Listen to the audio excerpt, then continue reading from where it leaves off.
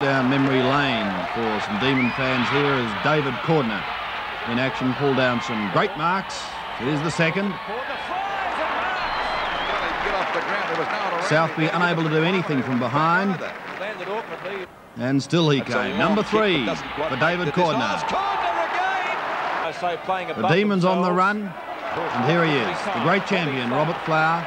Unfortunately, badly injured and will not be taking part on Tuesday night in the state game. But it's runs like this that inspired Melbourne in the first half. again. Another hand pass. Back Johnson. Johnson and the shot of goal is close. Oh, Even defender Smith got amongst the goals. At that stage, the Demons were some six goals up and the crowd was going wild to the chant if it's a grand old flag. But the tide was to turn. What happened? 20 minutes into the last quarter, Murphy combines with Meldrum, three points the difference. 35 seconds later, tapped over to Murphy, who again snaps truly.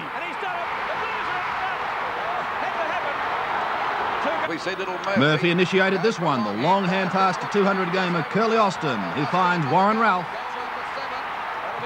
And it was good night, Demons.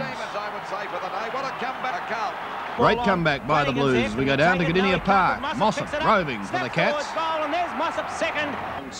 Buse now. A left foot snap. Buse nips over with his left foot. It's going to bounce through.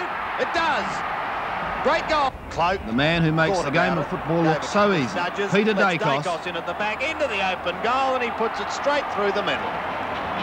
In and out of the game with Daicos yesterday. Here's goal number four. Daicos straightens up, and that's how you put the ball towards goal. A lovely piece of football, and four goals to Peter Daicos. But the Cats came back strongly in the third term. Some good shepherding allows Peake through. Peake swings back, and it's the first goal of Peake's. Geelong really coming back. Beers held. Jeff Miles came onto the ground Miles snap towards goal. and did his job a with this left foot snap. Jeff Miles. The goal umpire says it's another one to the blue, to the Magpies. Hand pass to Abernathy. Abernathy, this time on to Neville combines with Shaw. Back towards Abernathy. A chance of a score as Abernathy goes towards goal. It's a beautiful looking kick, and Collingwood have got the game sewn up. Greg And Phillips had a minor altercation, the goal umpire. but did return the hat. And says, look, I've done my job, you do yours. To Footscray and Essendon now. There wasn't a lot of running for the Bombers yesterday, but here's one good passage of play as Watson comes through the centre, finds Glenn Hawker across the half-forward line, and he makes no mistake for the Bombers. But it was the tearaway Bulldogs that showed their bite. Here's Hawkins under a cloud during the week, but performing well yesterday. Some good shepherding here by Hawkins as Nagel takes a dive to allow Burton through to goal. North Melbourne and St Kilda and a great day for the Saints as Lockett gives it to Fashini.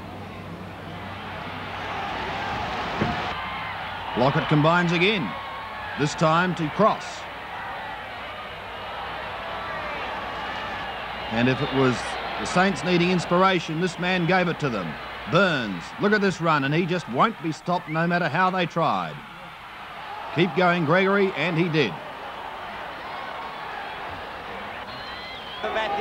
To Hawthorn Fitzroy, the Hawks look lethal.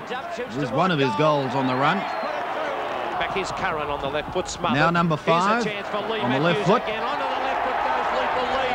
Beautiful goal. Third term. Fitzroy stayed with him though for three quarters. In fact, hit the front here with a goal from Bernie. Quinlan. Fantastic goal. That's a magnificent goal. If Mickey Conlan was nicknamed the Bull, here's why. Watch this. Conlan break out. Oh, darts his way through. What a goal. What a goal by Conlan. He darts his way through there. No matter what the Lions did, the Hawks just kept on coming. Matthews combines with Judge. Matthews this time to Burn onto Wallace like lightning. Shoots it over to Wallace. Wallace goes goal and is it through or not? And it was Matthews, in fact, who put the sealer on the game. So characteristic of Leigh Matthews in front of goal and another great performance by the Hawthorn skipper. In fact, he this week in the Mazda Football Highlights takes out the weekly award for the top player of the day. An outstanding performance. Leigh Matthews, in fact, rewriting the record books yesterday. It's a corner.